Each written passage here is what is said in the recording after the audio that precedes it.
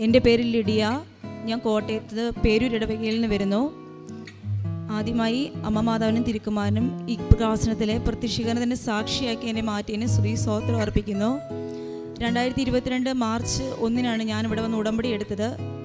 അന്ന് ഞാൻ ഒരുപാട് പ്രതിസന്ധിയുടെ നടുവിലാണ് ഞാൻ ഇവിടെ വന്നത്. എന്റെ കുടുംബജീവിതം വളരെ തകർച്ചയുടെ വക്കിലാണ്. എനിക്ക് മൂന്ന് കുട്ടികളാണ് ഉള്ളത്. വിവാഹിതയാണ് ഞാനൊരു നേഴ്സാണ്. വിവാഹം കഴിഞ്ഞതിന് ശേഷം എനിക്ക് ജോലിക്ക് പോകാൻ സാധിച്ചിട്ടില്ല. വല്ലാത്തൊരു ടോക്സിക് റിലേഷൻഷിപ്പ് ആയിരുന്നു എന്റെ വിവാഹ ജീവിതം. ഒരുപാട് പ്രതിസന്ധിയുടെ നടുവിലാണ് ഞാനിവിടെ ഉടമ്പടി എടുക്കാൻ വന്നിരുന്നത്. ഞാനും എന്റെ മമ്മിയുമാണ് ഇവിടെ വന്നത്. എന്റെ ഒരു കസിൻ വഴിയാണ് ഞാനിവിടെ കൃപാസന ഉടമ്പടിയെ പറ്റി അറിഞ്ഞത്. അവൾ ഇവിടെ വന്ന് ഒ ഇ ടി പാസ്സായത് അയർലൻഡിൽ പോയത് ഇവിടെ വന്ന് ഉടമ്പടി എടുത്തിട്ടാണ്. ഒരുപാട് പ്രാവശ്യം ഞാനിവിടെ വരാൻ ആഗ്രഹിച്ചിരുന്നു. പക്ഷേ ഒരുപാട് തടസ്സങ്ങൾ വന്ന് മാറി മാറി പോവുകയായിരുന്നു. അവസാനം ഒരുപാട് ബുദ്ധിമുട്ട് അനുഭവിച്ചു എനിക്കിവിടെ തന്നെ വരേണ്ട വന്നു. ഞാൻ ഒരുപാട് ഇന്റർവ്യൂകളെല്ലാം അറ്റൻഡ് ചെയ്തു പക്ഷേ എനിക്കതൊന്നും പാസ്സാകാൻ സാധിക്കുന്നില്ലായിരുന്നു. എല്ലാം പാസ്സാകും പക്ഷേ ഓരോ പ്രതിസന്ധികൾ വന്ന് മാറി മാറി പോവുകയായിരുന്നു. ഇവിടെ വന്ന് ഞാൻ ഉടമ്പടി എടുത്ത് തിരിച്ചു പോകുന്ന വഴി ഞാൻ ബസ്സിനാണ് പോയത്. പോകുന്ന വഴിക്ക് തന്നെ ഞാൻ യു കെയിൽ ഒരു ഏജൻസിയിലാണ് കൊടുത്തിരുന്നത്. ആ ഏജൻസിയിൽ നിന്ന് മൂന്നാൽ മാസമായിട്ട് ഒരു റിപ്ലൈയും വരുന്നില്ലായിരുന്നു. പോണ വഴിക്ക് തന്നെ എന്നെ അവർ കുറേ കോൾ വിളിച്ചിരുന്നു. പക്ഷെ ഞാൻ അതൊന്നും കണ്ടില്ല. വീട്ടിൽ നിന്ന് ഞാൻ ഫോൺ നോക്കുമ്പോൾ ഒരു നാലഞ്ച് മിസ് കോൾ കിടക്കുന്ന കണ്ടു. ഞാൻ തിരിച്ചു വിളിച്ചു. തിരിച്ചു വിളിച്ചപ്പോൾ അവരെന്നോട് ചോദിച്ചു നാളെ നിനക്കൊരു ഇന്റർവ്യൂ ഉണ്ട്. നിനക്ക് അറ്റൻഡ് ചെയ്യാൻ താല്പര്യമുണ്ടോ? എന്ന് ചോദിച്ചു. എനിക്ക് എന്ത് പറയണമെന്ന് പോലും അറിയില്ലായിരുന്നു. കാരണം എന്റെ പ്രതിസന്ധികൾ കാരണം ഞാൻ ഒട്ടും പ്രിപ്പയർ അല്ലായിരുന്നു ഇന്റർവ്യൂവിന് കാരണം എന്റെ മെറിറ്റ് കൊണ്ട് എനിക്കൊന്നും സാധിക്കത്തില്ലായിരുന്നു. ഞാൻ അത്രയധികം വീക്കായിരുന്നു എന്റെ പ്രതിസന്ധികൾ കാരണം. ഞാൻ മനസ്സില്ല മനസ്സോടെ ഞാൻ ഓക്കെ ഞാൻ പ്രിപ്പയർ ആയിക്കോളാം എന്ന് പറഞ്ഞു. പിറ്റേ ദിവസം എനിക്ക് ഇന്റർവ്യൂ ആയിരുന്നു. അവർ ലിങ്കുകളെല്ലാം തന്നു. എനിക്ക് എന്താ ഞാൻ പറഞ്ഞതെന്ന് പോലും എനിക്കറിയില്ല. ആ മാതാവ് എന്റെ മുന്നിൽ പ്രവർത്തിക്കുകയായിരുന്നു. ഞാൻ ഉടമ്പടി തൈലവും കാശുരൂപവും എന്റെ കയ്യിൽ മുറുകെ വെച്ച് ഞാൻ പ്രാർത്ഥിച്ചു. അവിടുത്തെ അവിടുത്തെ അവ- യു കെയിലുള്ളവരാണ് ഇന്റർവ്യൂ അറ്റൻഡ് ചെയ്യിപ്പിച്ചത് എന്താ പറഞ്ഞതെന്ന് പോലും എനിക്കറിയില്ല. അവർ ചോദിച്ച ക്വസ്റ്റ്യൻസിന് എനിക്കറിയില്ല. ഞാൻ എന്താ ആൻസർ പറഞ്ഞതെന്ന് പോലും എനിക്കറിയില്ല. പിറ്റേ ദിവസം ഏജൻസിയിൽ നിന്ന് വിളിച്ചിട്ട് പറഞ്ഞു നീ സെലക്റ്റഡ് ആയി. അതിന്റെ പിറ്റേ ദിവസം എനിക്ക് ഓഫർ ലെറ്റർ വന്നു. പിന്നെ പോകാനുള്ള കാര്യങ്ങളെല്ലാം ഉടനടി നടക്കുകയായിരുന്നു. എല്ലാ അമ്മ മാതാവ് ഇവിടെ വന്ന് ഉടമ്പടി ഫലമായിട്ട് ഓരോ ആ നിമിഷം മുതൽ എന്റെ കൂടെ പ്രവർത്തിക്കുകയായിരുന്നു. പക്ഷേ ഞാൻ അതിനിടയ്ക്ക് രോഗി ശുശ്രൂഷയിൽ ഒരു ചെറിയ തടസ്സം കാണിച്ചു.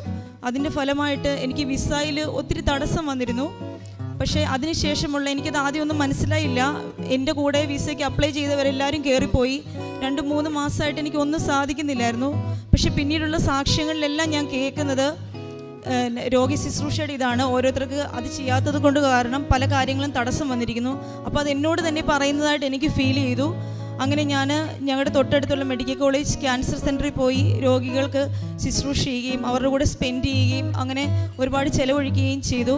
അതിന്റെ ഫലമായിട്ട് എപ്പോഴും ഞാൻ അച്ഛന്റെ ധ്യാനങ്ങളും സാക്ഷ്യങ്ങളും കാണുന്ന അപ്പോൾ അച്ഛൻ പറയുമായിരുന്നു ഡേറ്റ് ഇട്ട് പ്രാർത്ഥിക്കണം. അതിന്റെ ഫലമായി മാതാവ് അത്ഭുതം പ്രവർത്തിക്കുമെന്ന്. ഞാൻ കറക്റ്റ് ഡേറ്റ് ഇട്ട് പ്രാർത്ഥിച്ച ആ ദിവസം തന്നെ അമ്മ മാതാവ് എനിക്ക് വിസ അടിച്ച് നൽകി എന്നെ അനുഗ്രഹിച്ചു.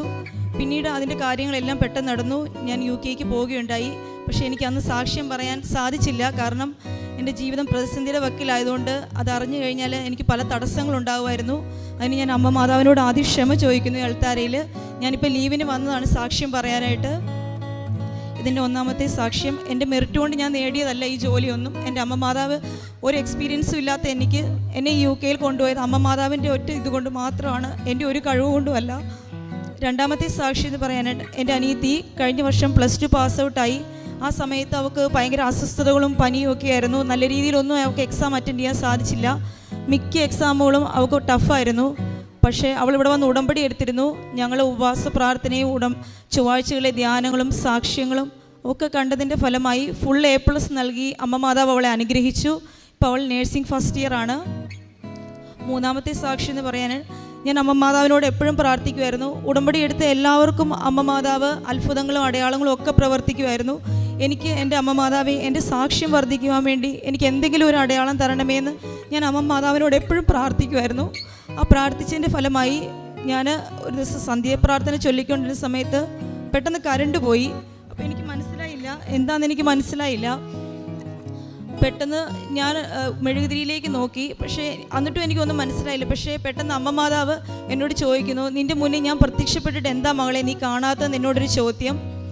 ഞാൻ മെഴുകുതിരിയിലേക്ക് നോക്കുമ്പോൾ മെഴുകുതിരിയുടെ സൈഡിൽ അമ്മ മാതാവ് കൃപാസന അൾത്താരയിൽ പ്രത്യക്ഷപ്പെട്ട അമ്മ മാതാവിന്റെ അതേ രൂപത്തിൽ മെഴുകുതിരിയുടെ സൈഡിൽ ഒരു മാതാവിന്റെ രൂപം മെഴുകു പ്രതിമ പോലെ ഉരുക്കി എനിക്ക് മാതാവിന്റെ ഒരു രൂപം തന്നു.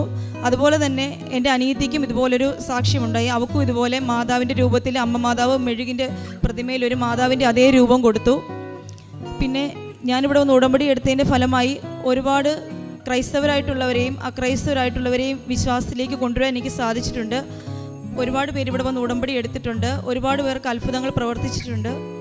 ഇത്രയും അനുഗ്രഹങ്ങൾ എനിക്കും എന്റെ കുടുംബത്തിനും തന്ന അമ്മ മാതാവിനും തിരുക്കുമാരനും ഒരായിരം നന്ദി.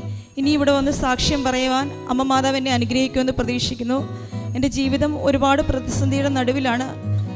ദൈവഹിതത്തിന് അനുസൃതമായ ഒരു തീരുമാനമെടുക്കാൻ അമ്മ മാതാവ് എന്നെ സഹായിക്കുമെന്ന് ഞാൻ പ്രതീക്ഷിക്കുന്നു. ഇത്രയും അനുഗ്രഹം എനിക്കും എന്റെ കുടുംബത്തിനും തന്ന അമ്മ മാതാവിന് തിരുക്കുമാരനും ഒരായിരം നന്ദി. ലതിയ ജേക്കബ്. കോട്ടയത്ത് നിന്ന് വന്ന സഹോദരി പറഞ്ഞ സാക്ഷിയാണ് നമ്മളിപ്പോൾ കേട്ടത്. ഈ സഹോദരി എന്ന് പറയുന്നത് യു കെയിലേക്ക് പോകുന്നതിന് വേണ്ടിയിട്ട് ഇന്റർവ്യൂ ചെയ്ത്. അതിൽ വളരെ തടസ്സങ്ങളായിരുന്നു അതെല്ലാം വിശദീകരിച്ചു കഴിഞ്ഞ് ആ തടസ്സങ്ങളെല്ലാം എന്ന് പറയുന്നത് ഉടമ്പടിയെടുത്ത് പ്രാർത്ഥിച്ചതിന്റെ ഫലമായി. അപ്പോൾ ആ സമയത്ത് തന്നെ അറ്റൻഡ് ചെയ്യുന്നത് മാനസികപരമായി വളരെയേറെ വ്യഥ അനുഭവിച്ചുകൊണ്ടായിരുന്നു. അവരുടെ കുടുംബജീവിതത്തിലൊക്കെ ഒത്തിരി പ്രശ്നങ്ങളുണ്ടായിരുന്നു. അതൊക്കെ കൊണ്ട് ആ ഒരു അവസ്ഥയിൽ മാനസികപരമായി വളരെയേറെ വിഷമിച്ചുകൊണ്ടാണ് ഈ മകൾ ഇന്റർവ്യൂവിലൊക്കെ പങ്കെടുക്കുന്നത്. പക്ഷേ അതിനൊക്കെ തടസ്സങ്ങളുണ്ടായിരുന്നത് അത് ഉടമ്പടിയെടുത്ത് പ്രാർത്ഥിച്ചു കഴിഞ്ഞപ്പോൾ ആ തടസ്സങ്ങളെല്ലാം മാറി ഇപ്പോൾ അവർക്ക് പോവുക അവിടെ പോകാൻ സാധിച്ചു. ഈ സാക്ഷ്യം പറയുന്നതിന് വേണ്ടിയിട്ടാണ് ഇവിടെ വന്നിരിക്കുന്നത് അല്ലേ?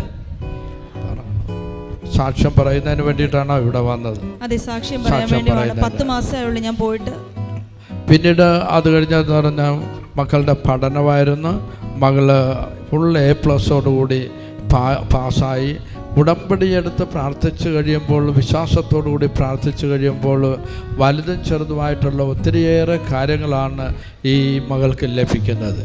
അത് ശക്തനായവൻ എനിക്ക് വൻ കാര്യങ്ങൾ ചെയ്തിരിക്കുന്നുവെന്ന് പരിശുദ്ധ അമ്മ പറഞ്ഞതുപോലെ ഈ മകൾക്ക് ഒത്തിരിയേറെ അനുഗ്രഹങ്ങളും കൃപകളുമാണ് ഈ ഉടമ്പടി എടുത്തതിലൂടെ തന്റെ ജീവിതത്തിലും കുടുംബത്തിലും മക്കൾക്ക് ലഭിച്ചത്. ഇവർക്ക് കിട്ടിയ എല്ലാ അനുഗ്രഹങ്ങൾക്കും നമുക്ക് നന്ദി പറഞ്ഞുകൊണ്ട് ശക്തമായി കരങ്ങളടിച്ച് അമ്മ മാതാവിനെ ഈശോയെ ഒന്ന് മഹത്വപ്പെടുത്താം.